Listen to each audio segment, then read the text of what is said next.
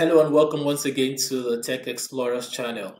So this is a follow-up video on the previous one where we talked about registration of a TIN, one of the new requirements of Upwork, okay?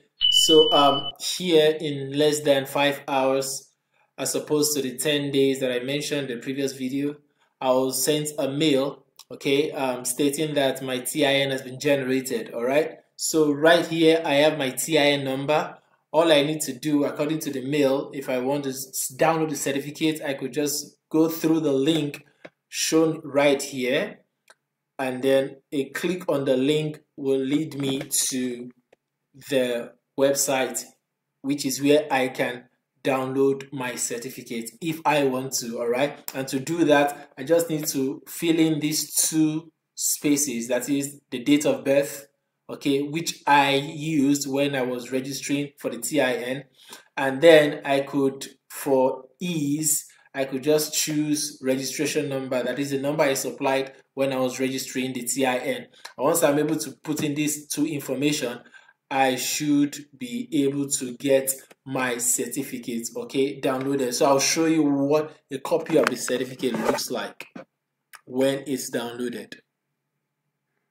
But before we go into that, once you supply the necessary information that is needed, uh, this is what you should be getting on your screen. All right, everything that concerns your TIN. So you can go ahead and then download the certificate if you want to. Okay, just put in your email address here and then click on the print to download, and a copy would be sent hopefully to your email address once this is gotten, the next thing you want to quickly do is to head over to your Upwork account. All right. And to do that, you just simply go to your upwork.com and here we are right on our Upwork platform, signed into our account. What you want to quickly do is to head over to your settings and to navigate to your settings, you need to click on your profile picture here. And click on the profile picture will give you a drop down and then click on settings. All right. Um, a couple of questions will be asked, okay, to uh, your security questions and of course your password. So give me a moment to fill this in. All right. So once you put in your password as requested, this is the page you should be seeing as your settings page. This is the back end, the engine room of your Upwork account. So what you want to quickly do is to head over to the section on the right and click on tax information. Once you click on tax information, you would be given some sections to fill out, okay? Which is the section that concerns the form that we need to input our TIN, all right? So you need to scroll down so that you could see exactly what is needed to be filled out. So here I am on the W8BEN form, the tax form, all right? Now what I want to quickly do is to make sure that every information supplied here is accurate, all right? Very accurate. So I'll click on this icon, this pencil icon, just on the same row with the W8BEN, all right? I click on the pencil icon and it opens up this section for me to fill out the form. All right, so I want to take my time to read through every detail so that I do not make a single mistake.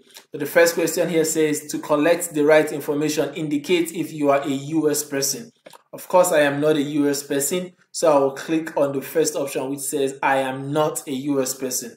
All right, and once I choose that, I have other options to fill out. The first one is asking me for my legal name of taxpayer. All right, this should be the exact name which you supplied when you're registering for your TIN.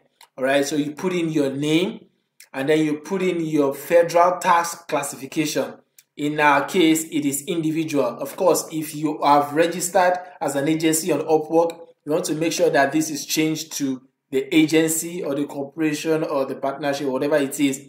But in my case, it is an individual um, classification. All right. So um, the next thing is your date of birth according to how you supplied it when you were registering for your TIN. So make sure the information tally, okay? Make sure the information tally so that you do not make any mistake. And then um, after that, you want to scroll up to fill out other necessary information that concerns this tax form.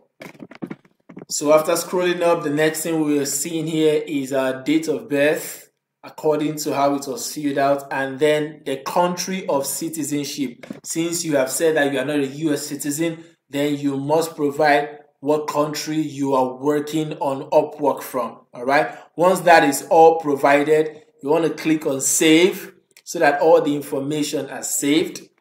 And then you move on to the next, which is the tax identification number. This is where the in thing is. All right. This is where you supply the number that you had generated from the um, J, uh, JBT um, website. So you head over to this pencil icon again and then you click on it. Once you click on it, it opens up. All right. And here you put in the tax identification number in this section here, which is the TIN that's generated. And then you scroll further down, would need to provide some other information such as your signature. And your signature in this case just has to be your full name. All right? The same way it appears on that certificate that you downloaded previously. All right? Um, once you do that the name the dates should pop up ordinarily and then you can tick on this section this box section here and then scroll further down to enter your full name again. And once that is done you click on save so um, I'll be taking some moment right now to just fill that out and then click on the save button so having filled in all the required information, all I need to do next is to click on save. And once that is saved, everything is set. And then I am done with all that is required of me. So that is it guys. Thank you for watching and hope this video was helpful. Do not forget to click on the thumbs up button if you find this video helpful so that you could um, make it reach out to other people and also subscribe to the channel so that when content like this drop on this channel you could always be notified. Thank you for joining